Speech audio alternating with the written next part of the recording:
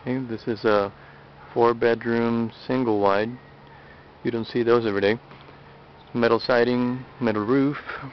It's a little bit of work, but uh, we can negotiate that some of that work.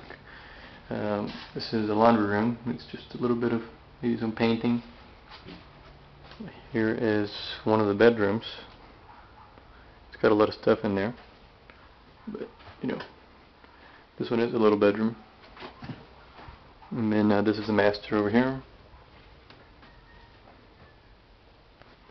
There's a closet right there, and here's a shower and uh, tub, toilet, and everything.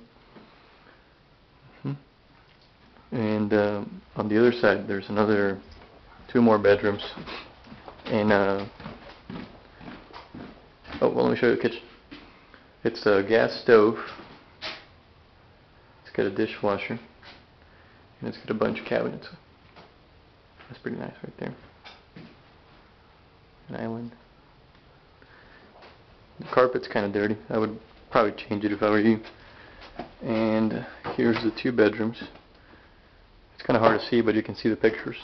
It is purple, so you can paint it if you want. And this one has uh, the entrance from here to the next room right here. And here's a...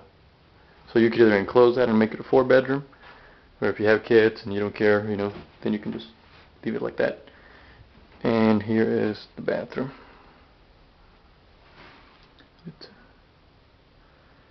That is it.